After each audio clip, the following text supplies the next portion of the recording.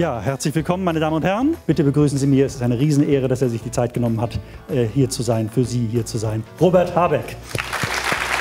Ja, dann einen schönen Abend und ich erkläre Ihnen kurz, warum ich diesen Film ausgesucht habe. Es ist schon deswegen unter anderem ein besonderer Film, weil der eigentlich immer brüllend komisch ist. Sie werden gleich lauter Typen kennenlernen, mit denen Sie eigentlich nichts zu tun haben wollen und die doch irgendwie liebenswert sind, liebenswert gezeichnet. Das, glaube ich, ist schon große cineastische Kunst. Insofern ist der Film, obwohl er jetzt schon fast 15 Jahre alt ist, fast aufregend aktuell in einer Zeit, wo sich viele Menschen fragen, wie man mit lauter Leuten, mit denen man eigentlich nichts zu tun haben will, irgendwie was zu tun haben könnte. Man wird, wenn man ihn, wenn man ihn zulässt, immer wieder drauf zurück geworfen auf diesen Film, weil er es schafft, ganz große Themen, im Grunde Glaube, Liebe, Hoffnung, im ganz Konkreten, letztlich in einem Apfelkuchen zu bannen. Und ich glaube, nur so kann es im Moment gehen in einer Zeit, wo alle großen Ansagen wie leere Worte klingen, im Kleinen das Große suchen. Und deswegen habe ich mir diesen Film gewünscht und bin dankbar, dass Sie so zahlreich gekommen sind und dass wir jetzt schöne anderthalb Stunden haben und dann auch noch ein bisschen weiter plaudern können. Vielen Dank und Film ab.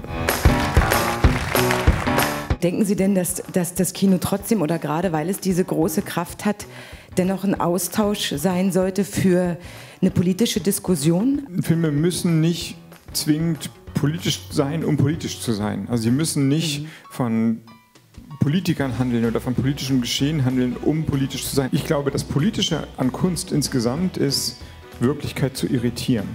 Also eine Abweichung vom Normalen zu machen. Und das, das für sich genommen also nicht affirmativ zu sein, nicht bestätigend zu sein und zu sagen, jetzt wissen alle noch viel genauer, was richtig ist, sondern Fragen zu stellen, Brüche einzuführen in, in, in die normale Welt. Das ist eigentlich schon, schon die, die Aufgabe, finde ich, von Kunst oder von Kultur insgesamt.